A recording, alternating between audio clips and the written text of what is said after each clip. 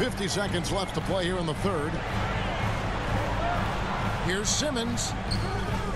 And it falls over the rim and in. And it's 13 points for Ben.